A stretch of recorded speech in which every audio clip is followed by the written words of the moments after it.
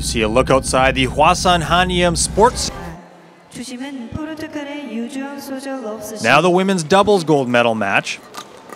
This one is between Lee So-hee and Shin Seung-chan of Korea and Ou Dong-ni and Yu Xiaohan of China.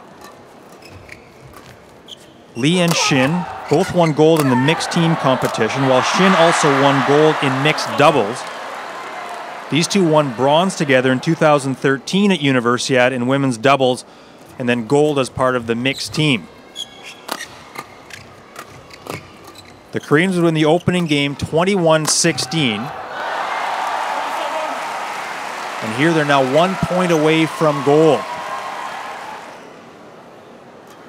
China to serve, and that smashed right at the Chinese player, and that will end it. 21 13 in the second game. They win this match 2 0 to win gold.